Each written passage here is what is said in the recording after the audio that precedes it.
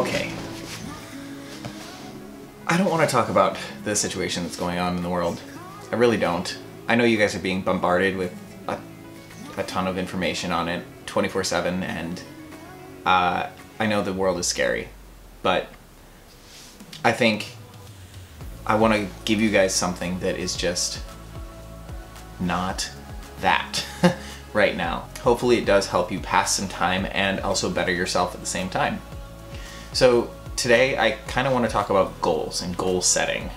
Um, personally, I set up a list of goals at the beginning of the year that I wanted to do.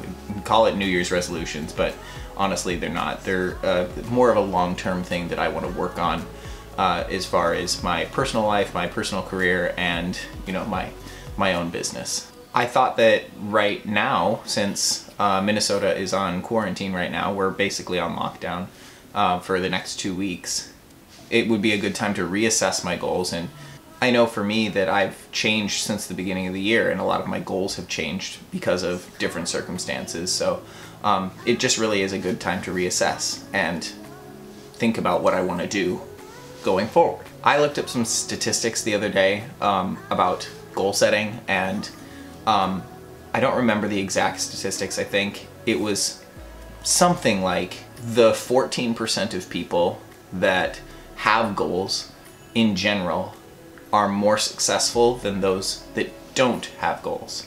And 3% of the 14% who actually write down their goals are even more successful than the 14%. So apparently, writing down your goals makes you more likely to complete those goals. So in spirit of that, I wrote down some goals in my new notebook, and uh, I'm gonna share a couple of them with you. I'm not gonna share all of them because some of them are personal, but so uh, one of my goals is to be debt free by the end of 2020.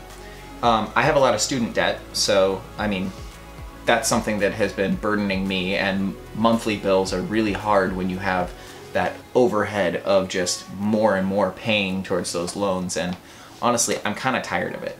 So I'm working towards being debt free. It's gonna take me a lot of work, a crap ton of work.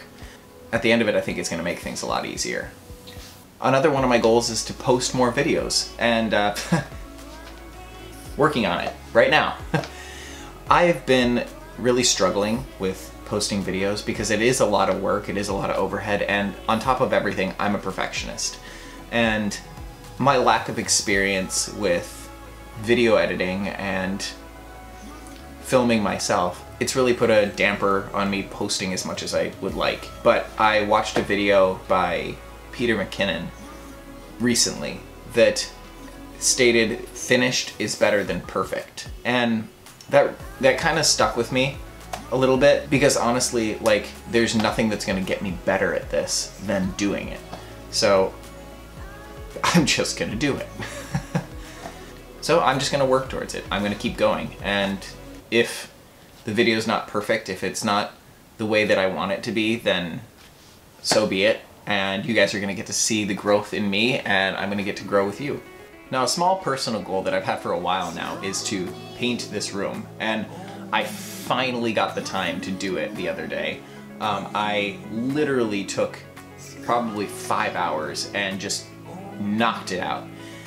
Unfortunately, I messed up my favorite pair of pants in the process because I backed my butt straight up into a wall, which is absolutely fantastic. But on the bright side, I got it done. Even small things like that can be on your list.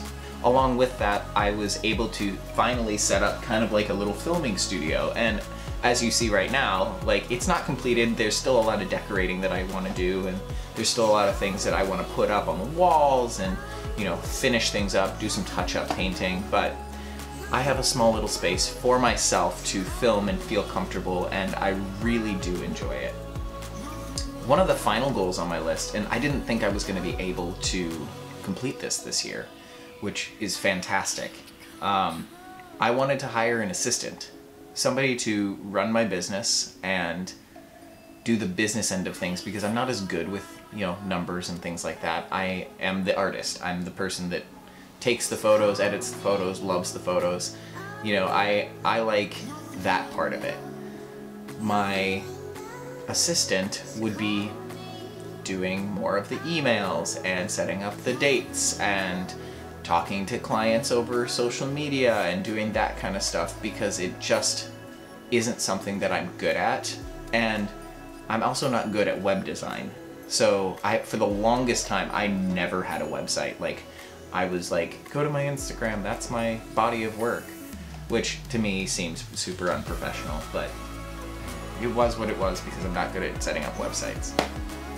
But recently, my sister, who is younger than me by several years, but she's a working mom that needed some extra things to do when she was at home and she wanted to help me with some of this stuff and I ended up getting to hire her as a assistant and now she's been doing the running of my business and it has worked so well at taking things off my plate and making me feel a lot less stressed.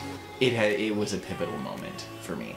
So, thank you, uh, Erin, if you are watching this. But I am super, I'm just super thankful for her. I'm just super thankful for her. But it's okay to have silly goals in there too. I have a couple on my uh, on my list that are just utterly ridiculous, like get abs. Got a long way to go. I'm to challenge you to put together a list of your own now. Now the way I organize my list, I have a list of short-term goals and I have a list of long-term goals. And the long-term goals are broken down into a year and then five years. Now, so the, the short-term goals, those are things I can do this week, tomorrow. You can call it more of a to-do list, and yes, it constantly grows, and yes, you can do a digital list so that it's easier to check things off. Say you wanted to learn a new editing software, or say you wanted to understand a new phone app, or say you've been dying to make a certain meal for a long time. Write that down. Write that down in the short-term goals, and then check it off the list as soon as you've got it done. And do things to work towards those goals every single day. You can also have some of these short-term goals work towards the one-year goals or the five-year goals. So say you have a goal that has multiple steps to it. You could put the first few steps in the short-term goals and then work towards the longer-term goals steadily and slowly. Now in the long-term goals, the one-year and the five-year goals, I would want to put things like what I put on my list, being debt-free in 2020. That's something that's on my year goal. That's my one-year goal. In my five-year goals, I have something like I want to be a professional dancer. It isn't within my one year scope just because those jobs are a little bit harder to come by. But within the five year goals, I want to dance as a professional dancer for a company. Altogether, it's really good to write down your goals. And you're more likely to achieve them if you do so. So, again, I challenge you to write down these goals organize them, see what is achievable within the short term, and with your time off right now, or if you have time off, uh, use it wisely and work towards those goals and really set yourself up for success. That's it. That's all I wanted to say. Also, before you guys go, this is really silly, but me being in a new kind of painted, organized, clean space, I feel super productive and I feel like my workflow has gotten a lot better. So I think I'm gonna show you guys a room tour.